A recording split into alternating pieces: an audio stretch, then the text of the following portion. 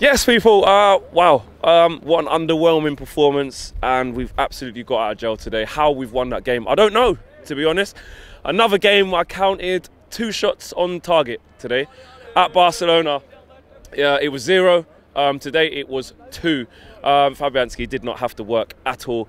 Um, do you know what? The team, I can understand why Ole made the changes that he made. Um, I tweeted out that I was happy with the team before the game. So I'm not going to put it down to that. I just put it down to the application and the attitude. Yeah, that light's just come on, Josh. I was thinking it's like halo shining down on me from heaven. Right? Um, yeah, it was just the application. It was just really poor. I, I got to start with Martial, man. I, you know what? The player ratings are going to come up and he could be pushing a two or a three out of ten today. He was really bad and I'm actually really worried for him. I'm not being funny. You're coming up against Zabaleta, who doesn't even know if he's playing football next year. I've seen Zabaleta do interviews this year where they've asked him, Are you going to carry on playing football? And he said, I don't know. Martial should be putting guys like that into retirement for me. Um, Zabaleta, he's what, 36 plus?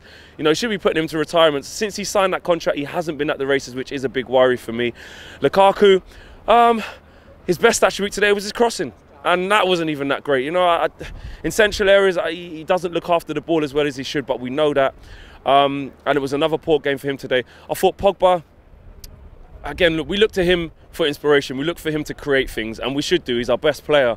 But there were times today where he tried too hard. There was one time he had a, he had a battle with Mark Noble, fell on the floor, got up, got the ball back again, fantastic. Then he tries to beat a couple more players, and just a little bit, just too much, just too much. So for me, he had the nerve to take two penalties though on, on the plus side, which was fantastic. But out of the course of the game, especially second half, you'd think that you know we're going um, at one 0 and you're thinking right, okay, we need to get them in and go again. We need to we need to up the tempo. West Ham are far too comfortable. They, you know, you, there's talks of Declan Rice coming to Manchester United, and there's talks of us potentially going for him. A lot of people say he ran the midfield today, and he had a very good game. I, I wouldn't say he ran the midfield, but he was he was very good. Mark Noble, he's another player who's at the end of his career, having far too good a game for me. Um, West Ham don't travel well. They haven't got an away win. Um, all year. And I know the argument you could say is, yeah, they still don't, but they've come here and almost played us off the park at times. Felipe Anderson was obviously trouble the whole game. And it was just really disappointing. We've got some tough games coming up. And I've said it before, if we don't start playing well, when we come up against the better sides, we're not going to be able to scrape it. That's Watford and West Ham now, that the two inferior sides to us on paper that we've scraped by. You know, Watford probably should have got something out of the game when we played, and today West Ham should have won it. I want to talk about De Gea as well because he did save us today. He did. He saved us. And what I will say is, that's fantastic. But his distribution's got to improve. Um, I think his kicking's really bad, to be honest, and it has been for some time. The reason why we don't get onto his back is because he's super. You know, he's the best keeper in the world in other departments, and first and foremost, he's a great shot stopper, as we saw from uh, Michail Antonio's header. Um, today that he kept us in the game and if it wasn't for him we would have conceded there and that was a whole different game so I don't want to get on his back too much but I have to I have to bring it up because I see it week in, week out, and I think it's not discussed enough um, that his distribution is poor. Across the back four today, do you know what? I thought Jones was actually all right today. I thought he, he, he did well. Um, same with Smalling. I don't think he was too bad. Um, but I was disappointed in Rojo because, look, he got skinned a couple of times, wasteful on the ball. I thought he was useless, to be honest. Um, he has been out the side for a very long time. I understand that. But Ole's been talking in the press conferences saying that he wants players at this club who can cope with the pressure. He wants players who can step up when they're being called upon. And he was called upon today and he didn't show up. For me, I would have went with Darmian because the track record with Darmian is yes, you could argue he's not good enough for the club and he's deadwood and he needs to go. But whenever you do call on him, he's there and he puts his defence first. I would have I would have preferred him over Rojo today. So look, the only positive we can take out of today is obviously the fact that we've won. And I tweeted out before the game that today performance goes out the window. Even in the running, you'd take probably five more of them if it gets us top four.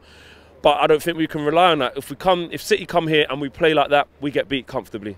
We get beat comfortably. Even Chelsea with their mishaps, you know, if we play how we're playing now, they could probably get something out of the game against us as well.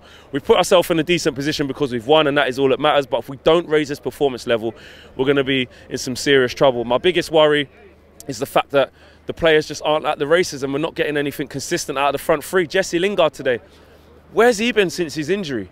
Where has Jesse Lingard been? It was another game where I just looked at and I just thought, Jesse's just running around. He's just running. He's not contributing to the game. He's not making good runs. His touch was poor today.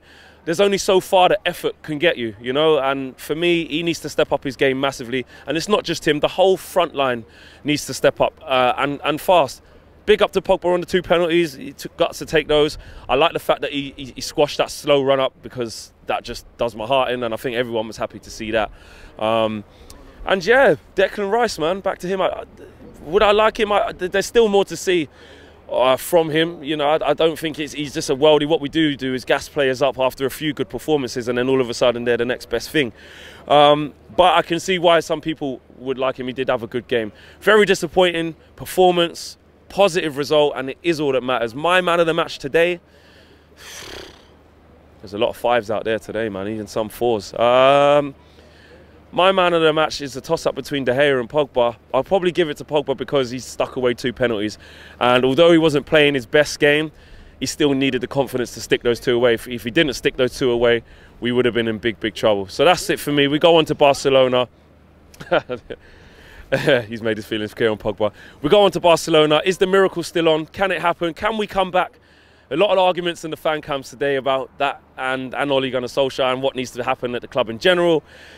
Are we going to go and do it at Barcelona? I don't know. I think it's a step, step too far. And if we play anywhere near like that, we've got absolutely no chance. But it's all about that top four race, and it's Everton away next. Yes, they've lost against Fulham today, but it's always a tough game when you go to Goodison Park, and they are good at home under Marco Silva. On to Arsenal now. We hopefully they slip up on Monday. And then on Sunday, we hope obviously that Chelsea slip up. We're relying on all these teams to slip up, man. Peace. Thanks for watching, guys. Big respect to all you guys for watching that video and make sure you check out more United Stand content here and here. Yeah, like, subscribe, and share. And the socials are along the bottom. You know what to do. Go get following. Go, go, go, go, go.